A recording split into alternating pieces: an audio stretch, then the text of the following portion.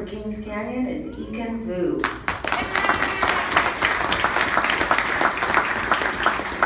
Ekin is a model student athlete on and off the court.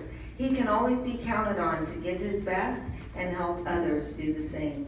He is a future Wildcat who plans to go to the University of Oregon or Fresno State, where he hopes to play football. Along with a 3.8 GPA, Ekin led the football team as captain, competed in wrestling, ran track, and made a home run that sealed the baseball team championship this year.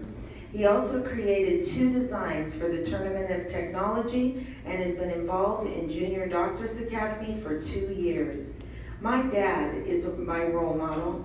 He encourages me to play sports, do well in school, and get good grades so I can be successful. I could not have done it without him. Congratulations.